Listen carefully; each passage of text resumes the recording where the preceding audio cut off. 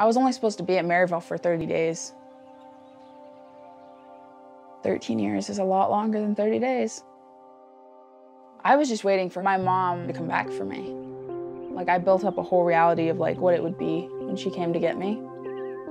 That we'd be happy that she had gotten herself together, that we'd go live in a house somewhere and like get a dog. So I was just, you know, waiting. That hope slowly started to die until I found out when I was nine that she was dead. It didn't hit me right away.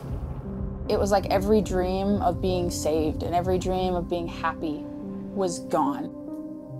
It was just like shattering.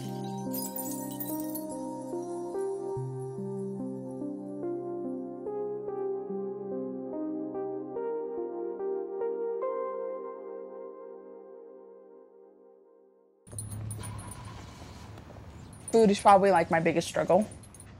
Thank you. I got cut off from food stamps. I don't know why. Hi. How are you doing today? And I don't know how to figure it out myself. I've contacted, I've called, I've gone down to the actual place and no changes were made. I just kept getting told no, so I stopped going.